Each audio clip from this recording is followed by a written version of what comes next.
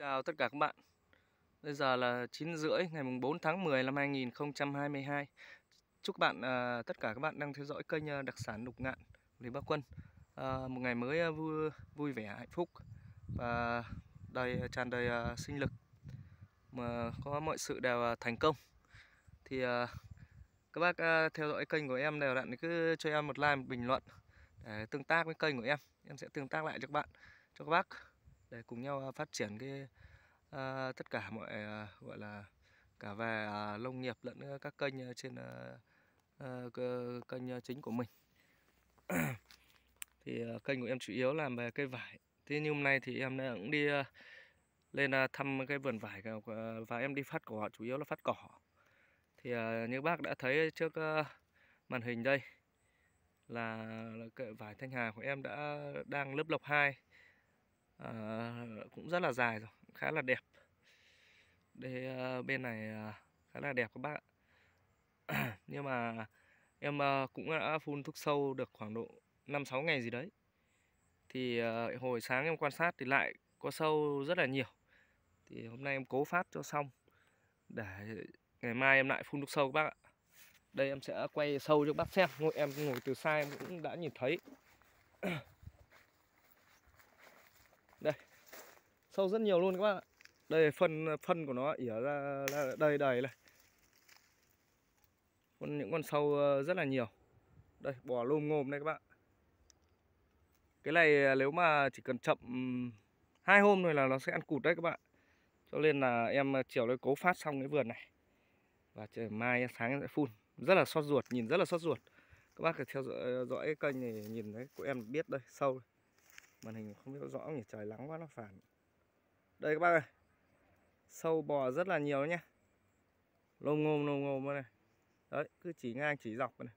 Bằng cái kim mà. To hơn cái kim một chút. Rất là nhiều. Đây.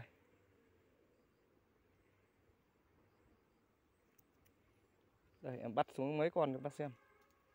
Đấy, em mới phun được 5 ngày rồi đấy các bạn. Đây rất là nhiều luôn. Rất là nhiều.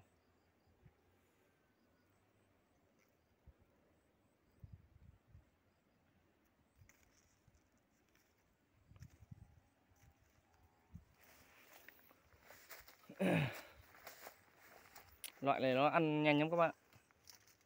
Nếu mà không phun ờ, kịp thời, ngày kia lại mưa rồi ngày mai chỉ có lắng ngày mai thôi. Loại này sâu này nó ăn rất là mạnh.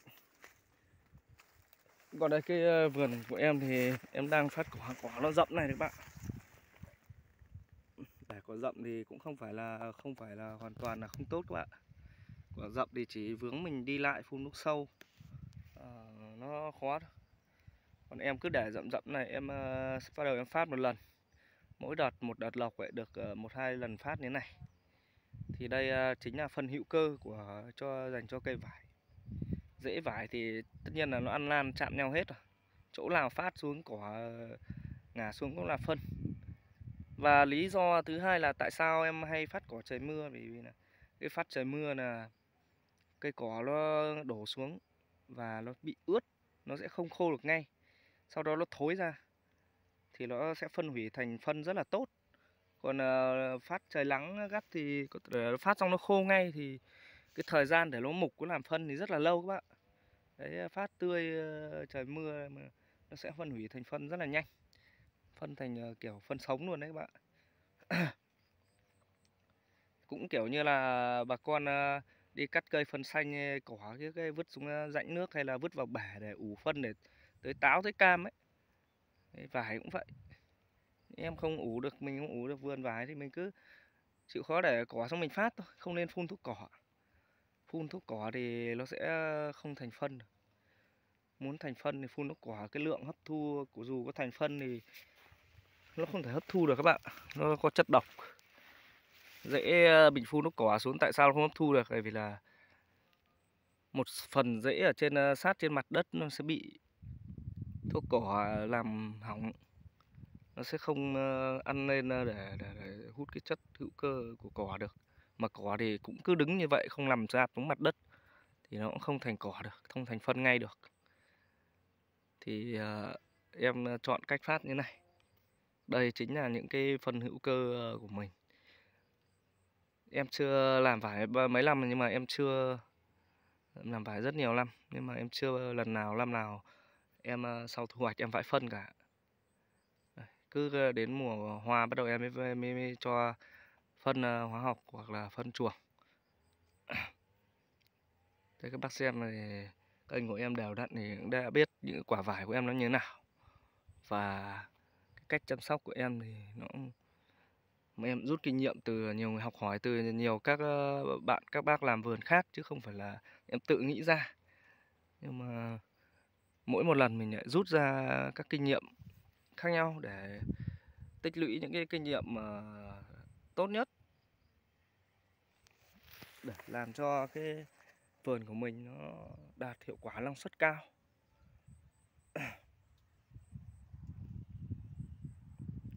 À, có em dừng video đây Chào các bác nhé. Em chút tâm sự với các bác như vậy. Em lại tiếp tục phát cỏ Cố phát uh, buổi sáng nay và buổi chiều. Nó xong để mai tiến hành phun sâu.